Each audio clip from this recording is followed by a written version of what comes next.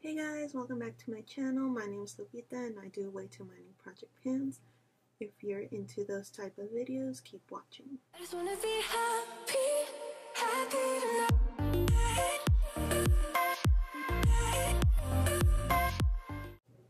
Today is the first update for the Deck of Panning Project Pan. This was a project created by Emily I'll have her link down below. She's known as Emily and Max here on YouTube and on Instagram. I'll also have the original creator that this project was inspired from linked down below. If you watched my other videos, you already know why this is called Deck of Panning. This project has a game board that Emily puts together. Let me show you guys a picture. Hopefully you can see that. This game board gets shuffled before each update and we use a deck of cards. I have mine here, it's just typical deck of cards and we randomly pull a card and whatever's on the card decides what prompts we're getting on the game board and what products we'll be using. It's really fun. I really like this project, especially since Roulette Pan is no longer being done for the time being because the creators are busy right now, so they're taking a break from this project. So I'm so happy that Emily is allowing so many people to join in in this fun project that she created. I'm going to go ahead and update you guys in the order that I pulled them and then and then I'll show you guys the new pulls. So first off, I pulled the King, which in the last game board was the oldest product that I had. Actually, if I remember correctly, the King, Queen, Jack, and the Ace do not change, and neither does neither does the Joker. Those prompts stay the same, but all the other prompts are changing. So for the King, the oldest product, I picked an Avon lipstick in the shade Fig. I've only used this one six times. I had a goal. If I could open it properly, the packaging itself is old and it's falling apart. I'm pretty sure it's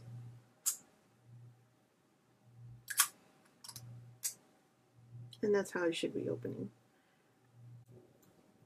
This is the lipstick in the shade fig. It's really pretty brown. I really love browns, so I thought this would be the perfect one to pick for this. So my goal was 30 uses. I have not met that one yet, so that's going to stay in the project.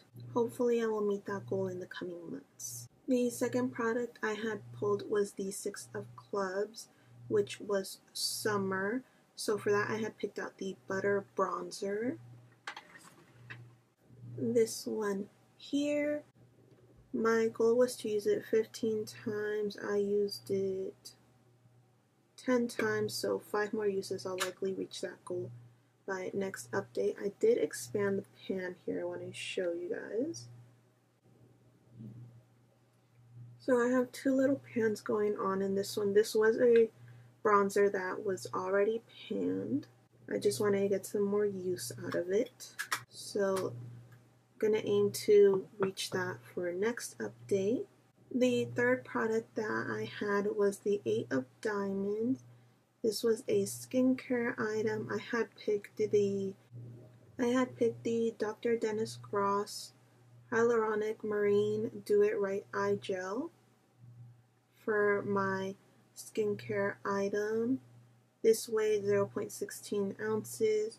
My goal is to finish it I've only used it 10 times. It has gone up a little bit, but not much. I do tend to forget to use my eye creams, which I mentioned in the first introduction video that I tend to just use my Curology acne treatment and I forget to use my other things at night. The fourth item was the Queen of Diamonds. So for the any queen, it was that we used a random color generator. I still have a picture of the color I rolled here, if I can find it. Here it is. So this was the color I had rolled and I had picked a lip oil from Ulta in a mauve shade. It's funny, I'm having trouble finding it and I just used it. Here it is. This one here.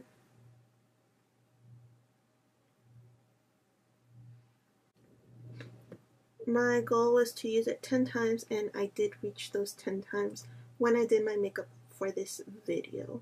I actually used this one and then just like a clear sheer lip, lip gloss from Ulta as well on top.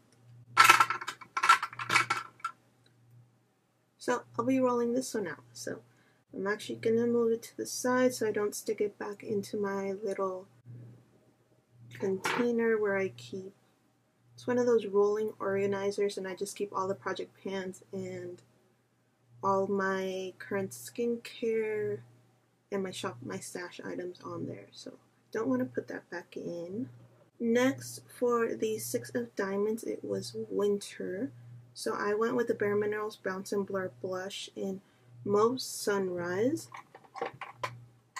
I picked this one because I really think it looks beautiful in winter. Really pretty also using this one today. I had a goal to use it 10 times. I reached that goal, so this one will also be going back into my little storage container here. And I'll be pulling up two new cards. Seven of Hearts, Seven of Spades. I'll try to zoom in so you guys can see that better. Let's see here the Seven of Hearts. Let me zoom in a bit. Seven of Hearts is a primer, and the Seven of Spades. Right? Seven of Spades, yeah.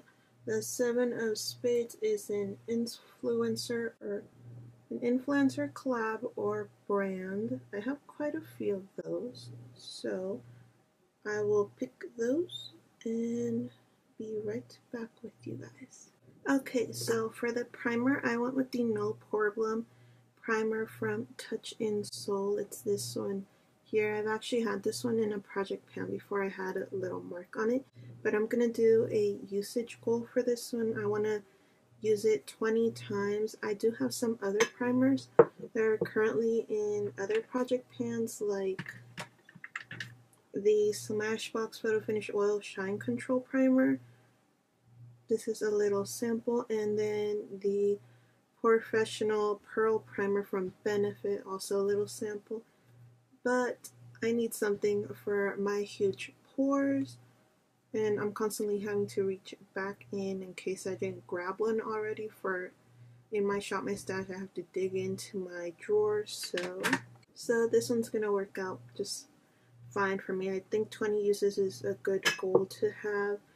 And since I'm pretty sure that I'm going to reach the butter bronzer by next update, that means I'll have a new product to roll in and I can still get a bit more use out of this one without feeling too much pressure. I know I'll definitely be using this one every time I do my makeup, whereas the other ones I kind of alternate which ones I use when I do my makeup, so they're taking a bit longer to reach my goals for those. Then for the Seven of Spades, which is an influencer collab or brand product, I went with the Morphe Jeffree Star palette. I think it will work well with the current eyeshadows that I have in my other project pans right now, these ones are a lot more, there's a lot more neutrals, which I'm running out of in my current eyeshadows from the project pans. There's not a lot of them. So like Lynn 1985 back, my even Honest Truth will work really well for my transition shades. And there are some more vibrant greens that I wish were in the palettes that I have right now, and then the, the pinks that I'm just dying for to have that I'm constantly reaching for other palettes to grab because pinks just happen to be more of my go-to colors. Now it's easier for me as an everyday look just to go with pinks whereas browns I not so motivated by so I hope this one will help me be more motivated to do my makeup more often and reach all these goals and actually use my products a lot more get better use out of it. So I'm gonna make it a goal to try to use to try to hit 30 times in any shade. I picked the number 30 because I am kind of curious to see how long it will take to hit pan in one of these eyeshadows.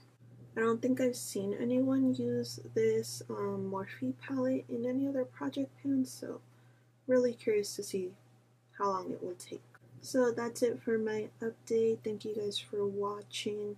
If you're interested in joining, feel free to look at the description box. All the information will be down below along with Emily's channel and any other information. You can ask Emily in any of her videos or message her on Instagram. She replies pretty quickly. I apologize for the mess that is my hair today. I am having a lazy day where I didn't feel like actually doing my hair. I hope you guys enjoyed this video. If you're interested in watching more project panning videos or even tutorials or some other fun makeup related stuff, please check out my channel. Make sure you smash that like button and hit subscribe before I leave. See you guys soon.